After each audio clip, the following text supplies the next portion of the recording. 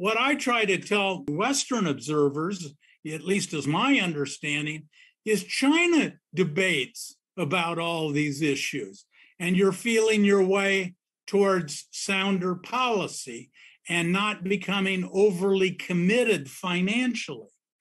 And it's always been my understanding that one reason China wanted the Asia Infrastructure Investment Bank was to have others besides China finance a lot of this infrastructure. And frankly, I thought that was a pretty good idea. And I think uh, the United States made, uh, I will say, strategic error under the Obama, Obama administration not to join this.